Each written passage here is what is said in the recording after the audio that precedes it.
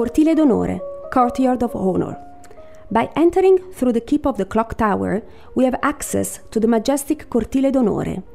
The integration of the Courtyard of Honor at the center of Pio's residential complex in the first part of the 16th century by Alberto Pio III's will gives a new image to the palace so that it does not only serves as central gateway among the different parts of the building and between the new square and the ancient medieval center in the east